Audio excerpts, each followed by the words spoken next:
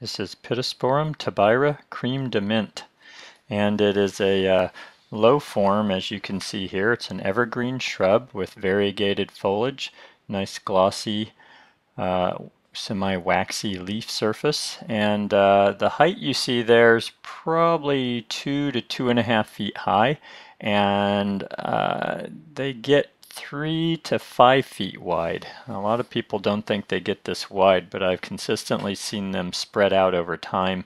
And uh, although you're looking at a grouping here that's, uh, um, you know, that they were probably planted two and a half to three feet apart, really, if you're doing a grouping, I think that's a good spacing, by the way. But this one right here is probably four to four and a half feet wide.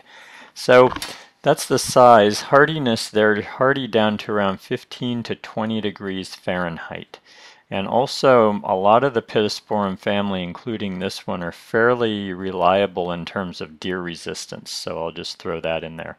Also, once established, they're quite drought resistant. The Pittosporum tobira family is very drought resistant. I think it has a lot to do with the waxy leaf.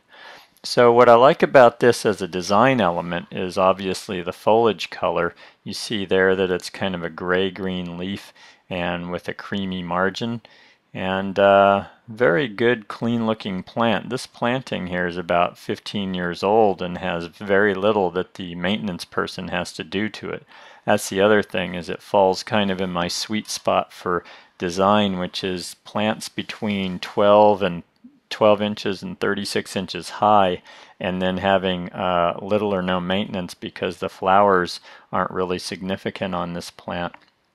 There's not a lot of maintenance. There's not no, no flowers to clean up. There's no foliage drop. And because of the size, if you use them in the right place, you shouldn't have to prune them either.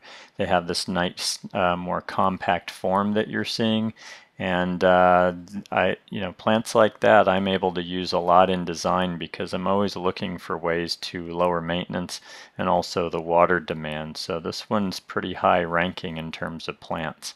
Um, the only downside I've found with Pittosporum tobira uh, of this type, uh, Creme de Mint or uh, Wheeler's Dwarf, which is this is essentially a variegated variety of Wheeler's Dwarf, is that they can get holes in them and if they do they don't always fill in very well.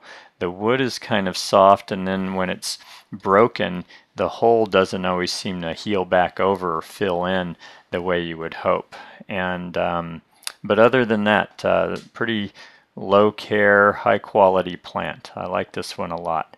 And I think that's about what I can tell you. So low water once established, uh, prefers a little regular water but doesn't have to have it and uh, again using the foliage as the interest.